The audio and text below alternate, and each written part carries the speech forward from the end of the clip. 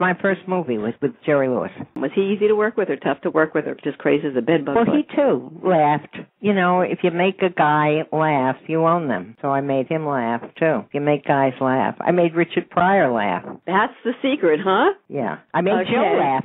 I met Joe laugh. That was the first thing we had in common. My manager said, I'm going to introduce you to someone who you're going to have a comedy rapport with. And we did. And I did a, r- a record album I was working on at the time for him. And he laughed at places no one else laughed. And I said, This is the guy I'm going to marry. Did you know right away? The minute I saw him, I knew he was it.